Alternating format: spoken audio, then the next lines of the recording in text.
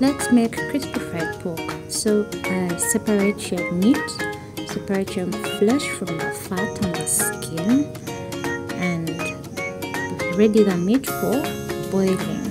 So that is the fat that is going to be rendered very shortly. And the meat has bay leaf tomato and ginger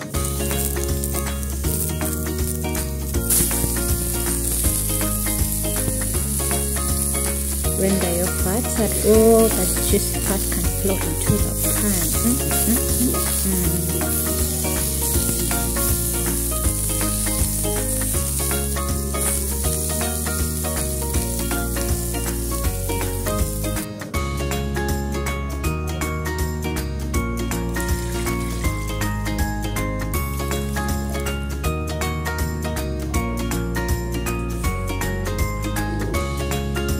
going to boil the meat separately.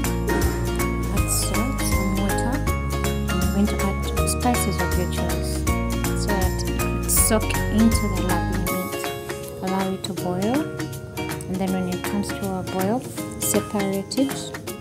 Separate it from the from the soup, from the yes from the soup.